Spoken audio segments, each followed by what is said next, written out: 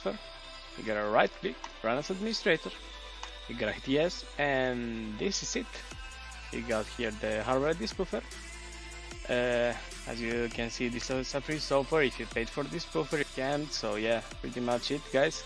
Uh, be careful out there because there's a lot of people to charge you for the free software. This is just free, as you can see, it's pretty simple spoofer. It has just a few functions, but it's uh, more than enough for a few, few anti-cheats to avoid them.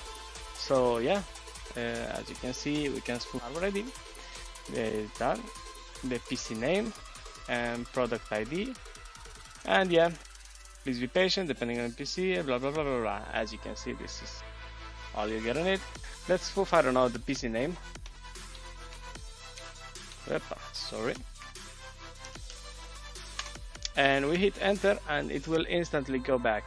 It that means that it's uh, it's done. It's, it's good. But if you uh, right click it and open it as administrator here it is what what happens. Sorry. Let's try with the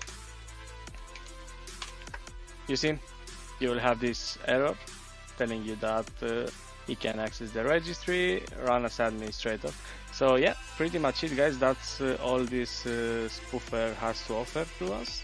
And yeah, as I said, pretty simple one, but uh, pretty useful, it works very nicely. I've been using this for my cheat sign since like last week. And no problems at all. So yeah i hope you enjoyed the the video guys. Link will be down on the description. And yeah enjoy. See you next video. Bye bye